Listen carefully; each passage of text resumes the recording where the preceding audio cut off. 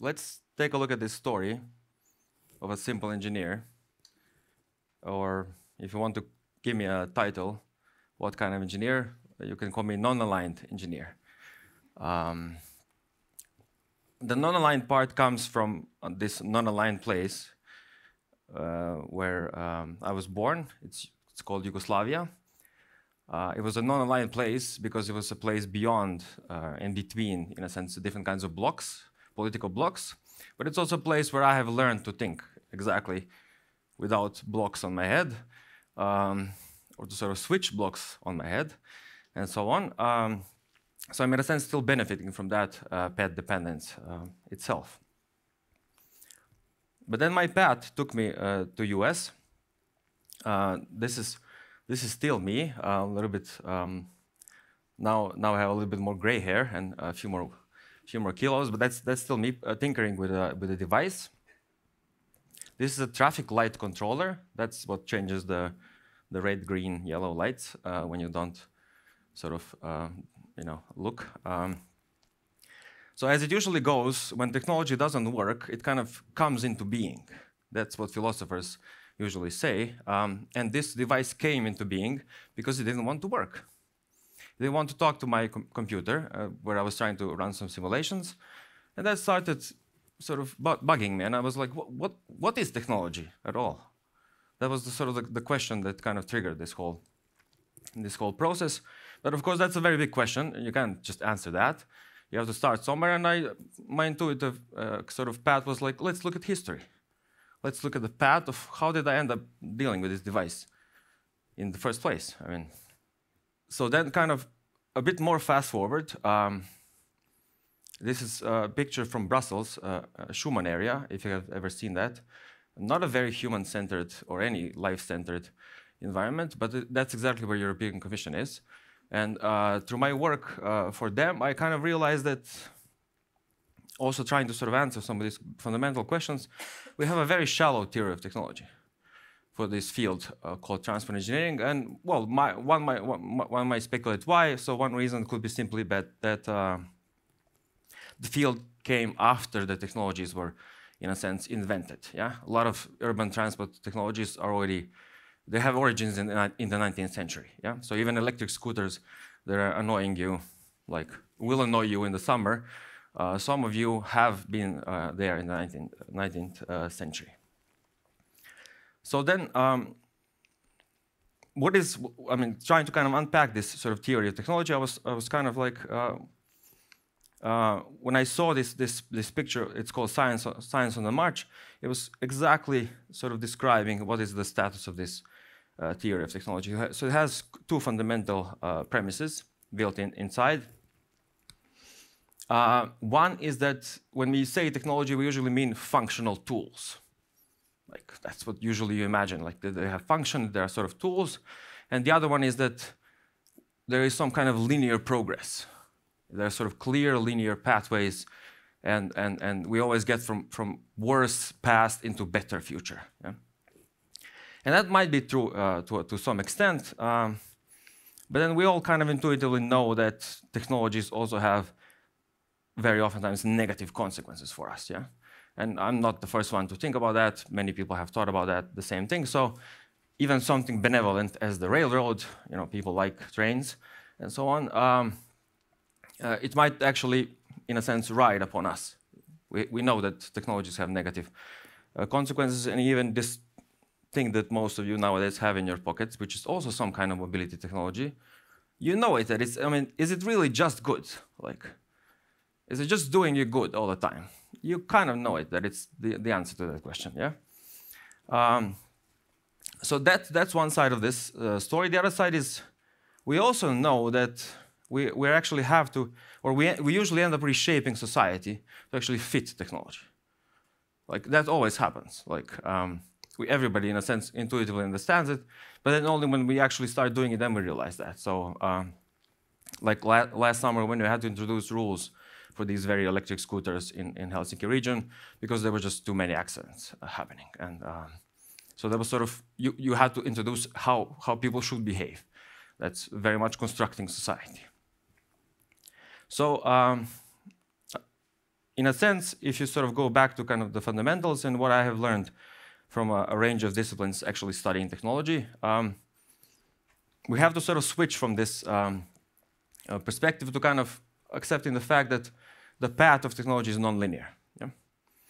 And that's, that's a fundamental thing in itself to kind of uh, accept. And then the fact is, well, it's nonlinear and then it's dynamic. The dynamics is that you have this co-construction of technology and society. Yeah, there's sort of in, in, in very fuzzy interplay of what, uh, what actually happens. So, so then if, if you accept this dynamics and the path, uh, is it really just tools and progress? I mean, maybe it's tools and progress, but there is maybe something else. And let's claim, for the sake of the argument, let's just say that this is also ideology. And now you're sort of like, okay, what do you mean? Yeah.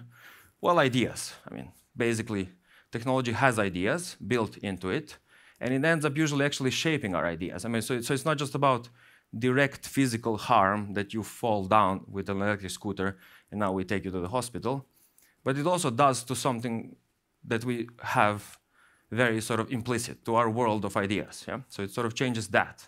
And maybe in the long term, that matters quite a lot if you sort of change ideas over time. So let's let's take an example. Uh, so this is this is a snippet from um, one of the German documents um, uh, coming from Federal Ministry of Transport and Digital Infrastructure. And if you sort of read this text, it has a lot of values and assumptions. Even this small piece, not even the whole document. So it is about some kind of pride, history. Sort of the, the car was invented in Germany and we will do it again, yeah, if it need be. And then there is sort of something about the game. We're still at the top of the international league, so, so this is about competition as well, yeah. So pride, competition, these are certain values that are sort of put forward, and then some other values go to the back of the list.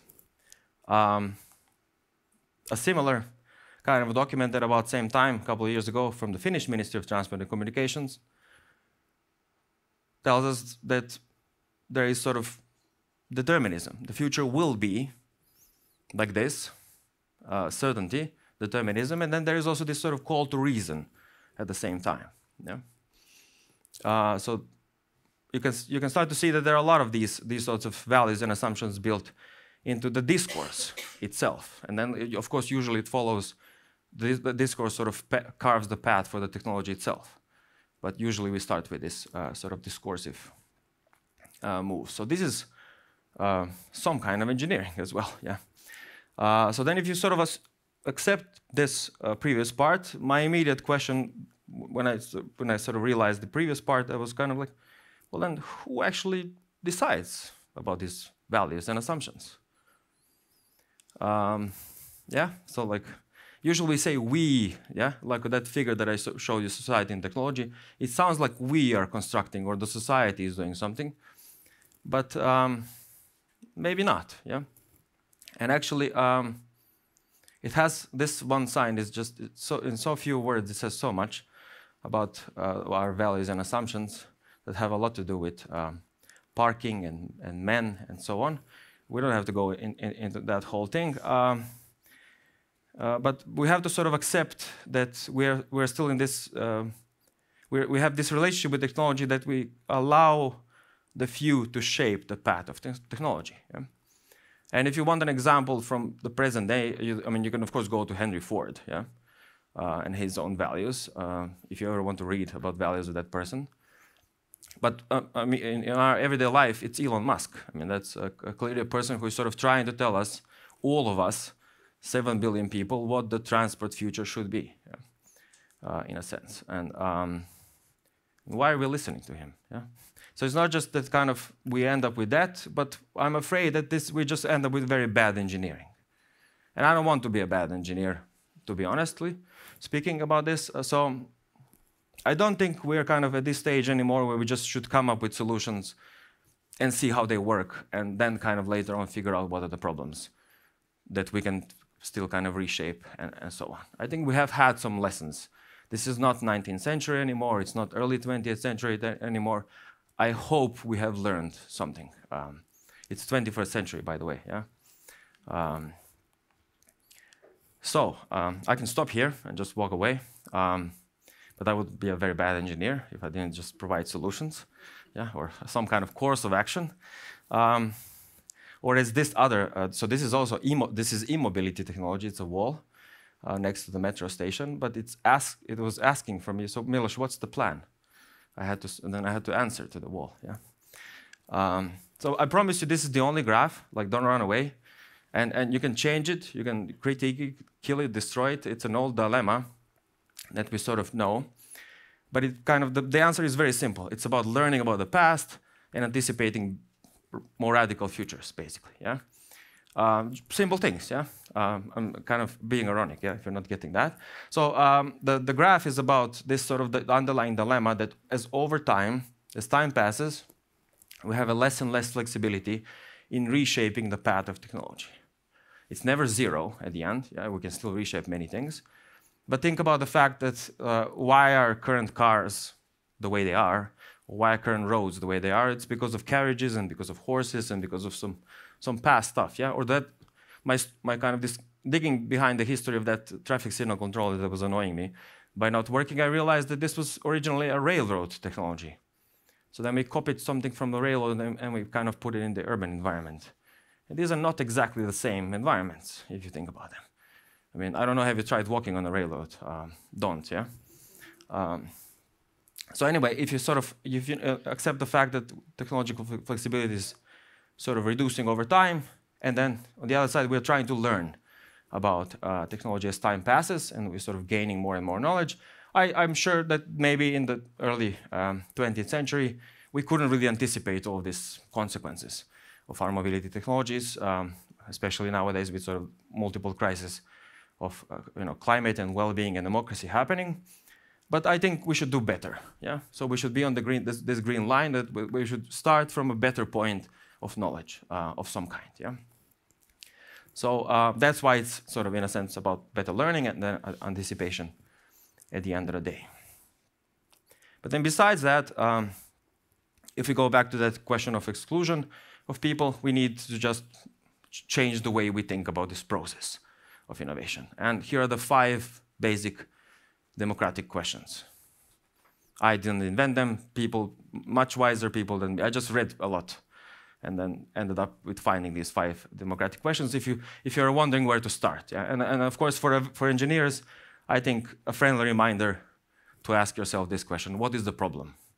Because oftentimes I still see this sort of narrative of, I have a solution, but what is the problem? Yeah. So these are the five questions that I can uh, leave you with. Uh, and then, of course, I can kind of tell you that we need actually innovation in everything around technology that you might sort of usually consider as technology. Uh, but maybe these are things also that we, I mean, we can, we can discuss this later in the break. What, where is the boundary of technology? I, I love that question. But in a sense, a good systems um, engineer knows that you have to sort of intervene less in the system, but in innovative ways. So besides democratizing these processes, we need better foresight procedures, as you saw in the previous talk, better way to run pilots um, without kind of running into these these kinds of um, irresponsible actions, uh, as we have seen with self-driving vehicles or with electric scooters and so on. We need new kinds of policies. We need to innovate in policies, not just obvious things like data protection, uh, but questions of IPR, if you change the, the, kind of the innovation process, and then the actual discrimination uh, that we have through technology. But most, most importantly, it's the, at least for me, it's this principles part. So that goes back to these values that we will have to deliberate about. Values like solidarity and dignity, that I would sort of propose those texts have as opposed to sort of power and reason and determinism and competition and so on. Yeah. So besides answers, um, oops, I would be uh, also a bad professor if I didn't ask questions at the end. Yeah. Uh, so I'll give you three questions. Um, here is one. So what if the future is already here, it's just not evenly distributed? What if actually we have all the solutions like right now? We don't have to like invent Hyperloop or whatever else uh, Elon was trying to sell us. Um, that's one. The other one is um, what, and, and that's, that, I mean, I have I've, used this word emerging technologies for so, so long that I've started wondering why are we even talking about this? Are we just maybe even distracting ourselves? So are we just actually, uh, are, are these actually just distracting us from readily available effective solutions like just better street design and better maintenance of, of things? Um, and then if I can leave you with, um, with the third question, which is, this is not mine, it's actually, I'm, I'm actually proud that it comes from our students. Um, and I'll, if you allow me, I will read it out loud. Uh, perhaps there is a need for people to buy less, to travel less, and to find joy in living more humble lives. But who would dare demand this of the public? So, with this question uh, of politics, what I can promise you that I will continu continue doing at Aalto is that I will stay non-aligned. Um, but uh, as in the spirit of responsible engineering, I will try to put society first, technology second. And um, that's all I have uh, for you today. Thank you.